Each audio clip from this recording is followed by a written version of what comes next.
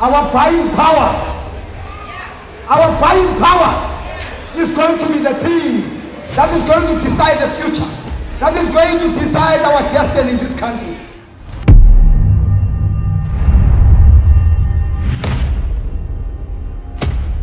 The message was that we don't buy from whites, we only buy from Indians or Chinese. So, emakuleni, Kodai, yes, we're buying there.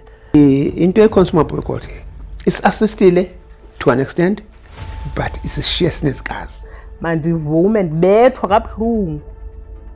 Ndibethwe nto endingayaziyo andipolitiki